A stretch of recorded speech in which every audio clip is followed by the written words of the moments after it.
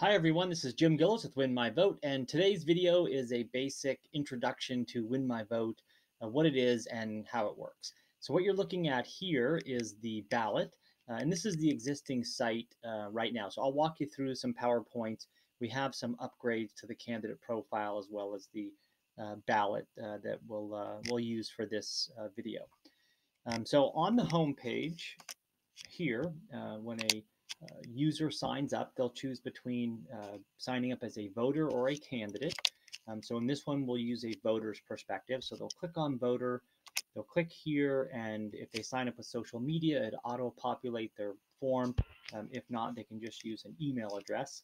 Uh, and then they'll put their zip code in there. And then the zip code will place them in specific voting districts like congressional district, state senate district, etc.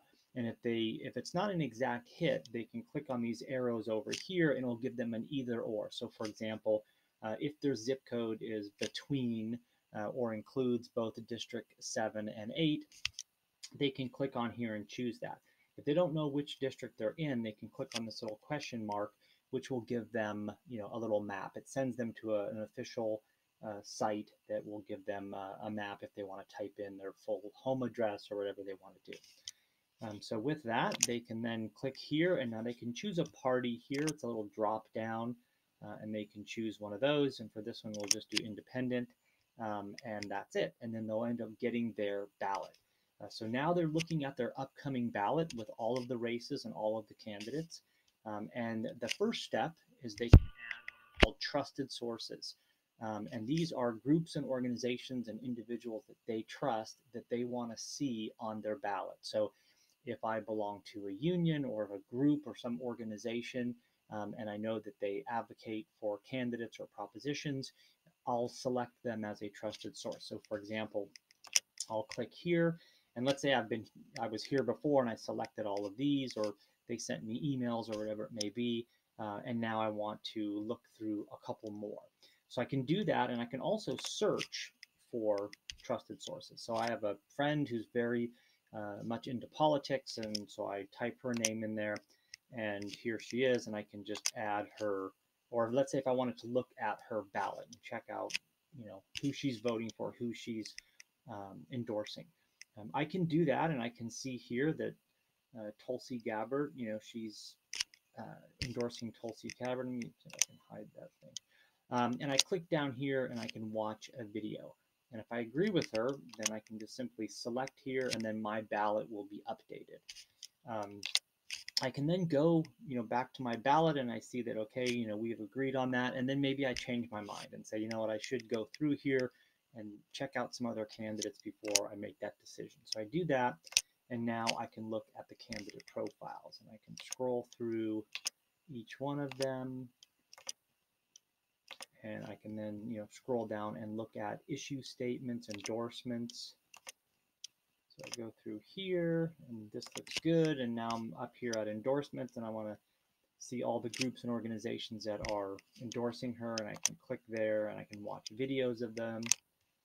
And I like Joe Rogan, so I wanted to, you know, maybe I listened to his entire interview with Tulsi Gabbard. And now I'm convinced and I favorite her, I can share on social media, and then when I go back to my ballot, you know, she's favorited again.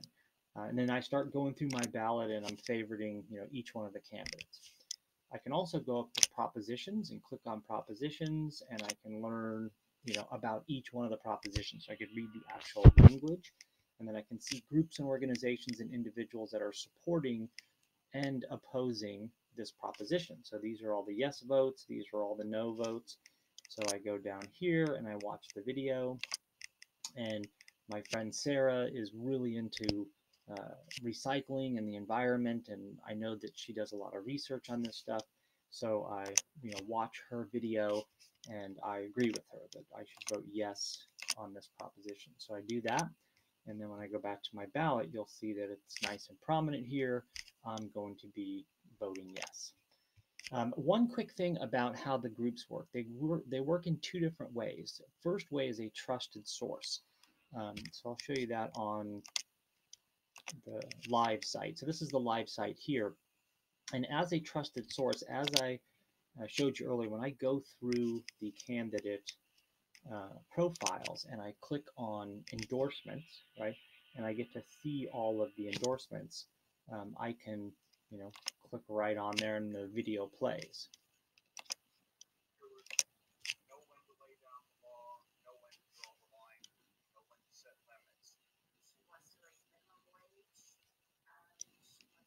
And again, this works for just individuals.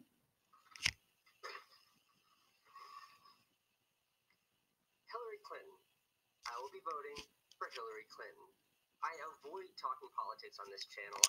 You know, and this is a good example of someone that you know feels strongly about endorsing a candidate, um, but at the same time, you know, wouldn't go out and spend the money, um, you know, to compete with other huge endorsements um, but would send that out to you know all of his users, let's say on his YouTube channel. You know, this way I can hear it, and when I do hear it, I can immediately take action, and I can favorite this candidate, and then when I go back to my ballot, you know that candidate is favorited. So that's one way um, that uh, the groups or organizations um, work as a trusted source. Uh, the other way. Uh, the other way is just through their ballot. So, and again, this is kind of the new look, the new page, um, would be having their own ballot. They can go through it real quickly, just like I went through that ballot and favorite and endorse and you know do everything right there on their ballot. And then they can feature their ballot the same way they would feature a voter guide.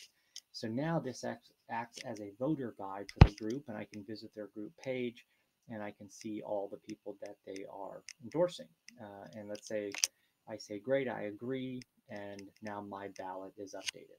Um, I can also say vote like this group. Let's say if I really trust to them and I go through and, and I say, this is great, I want to do that. I simply click on this and all of the uh, candidates are now favorited on my ballot, as well as all of the propositions. They're all now selected yes or no on each one of them.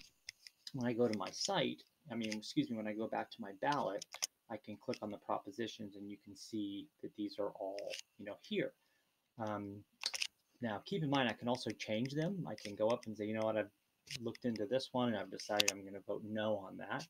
Um, and that's easy enough to, you know, to keep changing and, and going on. Um, so now let's say it's the day before the election or the day of the election. I can click here uh, and just see all of my favorites. So it's really easy for me to look on a cell phone or to print it out. Um, and then I can find my polling place.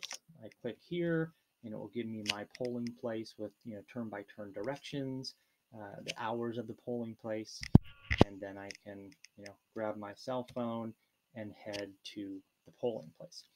Um, so that's kind of you know the the way that the user interacts with it. Um, I'd be happy to uh, to talk with with anyone, demo the site, uh, and we will be doing another video a little bit more about how uh, the groups and organizations and trusted sources work um, and how they're able to go through their own ballots real quickly. Um, thanks a lot.